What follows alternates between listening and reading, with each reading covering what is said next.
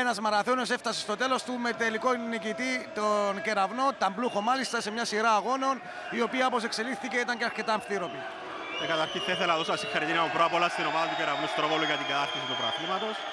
Και βεβαίως αντίστοιχα συγχαρητήρια και στην ομάδα της ΑΕΚ Λάρνακα γιατί είδαμε πέντε συναρπαστικούς τελικούς και είδατε ότι κρίθηκαν στις λεπτομέρειες και πέντε. Από εκεί πέρα θα θέλω να, να ευχαριστήσω και να συγχαρώ όλα τα σωματεία τα οποία συμμετείχαν στην ΟΠΑ Basket League αυτής της περίοδου.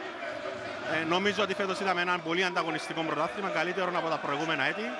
Και ο στόχος είναι να συνεχίσουμε και του χρόνου με την ίδια φιλοσοφία για να ανεβάζουμε κι άλλο το άθλημα μας και να δίνουμε θέμα στον κόσμο. Συγχαρητήρια και στον κόσμο ο οποίος σήμερα ε, γέμισε το, το γήπεδο ε, και θέλουμε να έχουμε την ανάλογη συνέχεια και στο μέλλον.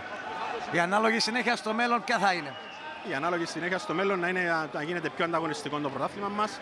Το έχουμε αποδείξει βεβαίως τα τελευταία χρόνια και να βλέπουμε να μαζεύεται αρκετός κόσμος στο γήπεδο όπως έχουμε ε, δει τις τελευταίες περιόδους να αυξάνεται σημαντικά ο κόσμος στο γήπεδο. Θα σου κάνω μια ερώτηση η οποία επηρεάζει και το χώρο του μπάσκετ.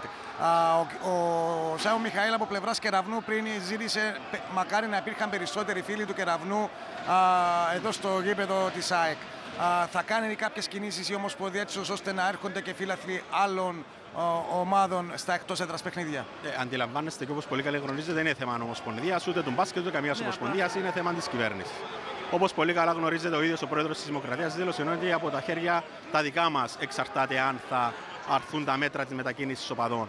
Άρα με το να προσπαθήσουμε να, να, να, είμαστε σωστοί μέσα στον αγωνιστικό χώρο και έξω από τον αγωνιστικό χώρο και να αποδείξουμε ε, όχι μόνο στην κυβέρνηση αλλά και στον κόσμο ότι ε, το, το, τα πρωταθλήματα είναι, είναι γιορτή, οποιοδήποτε άθλημα και είναι αυτό, τότε ναι, δεν υπάρχει κανένας λόγος να μείνουν φύλαθλοι έξω από το γήπεδο. Άρα το μήνυμα που θέλω να στείλω είναι στα χέρια τα δικά μας να αποδείξουμε ότι μπορούμε να, να μας εμπιστεύονται για να έρχονται όλοι οι οπαδοί στο γήπεδο. Και ένα τελευταίο σχόλιο και για τον κόσμο που ήρθε, αλλά και για τον κόσμο που μας έβλεπε ότι τουλάχιστον είδε ένα καλό μπάσκετ. Ε, και ούτως αλλιώς ε, διανύουμε και μια σεζόν, μια χρονιά μέχρι το 2025 όπου ο Κύπρος θα διοργανώσει και το Eurobasket ε, όπου θα δούμε και την εθνική μας ομάδα αλλά και την εθνική Ελλάδος να αγωνίζεται στην Κύπρο.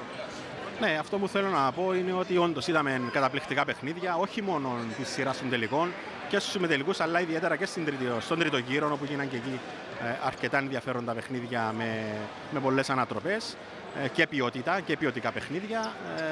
Ε, είναι αυτό που λέω πάντα τα τελευταία χρόνια, ότι ο κόσμος πρέπει να εμπιστευτεί, να εμπιστευτεί το κυπριακό μπάσκετ, γιατί μπασκετόφιλους έχουμε πάρα πολλούς στο νησί και νομίζω έχει αποδειχθεί αυτόν περίτρανα.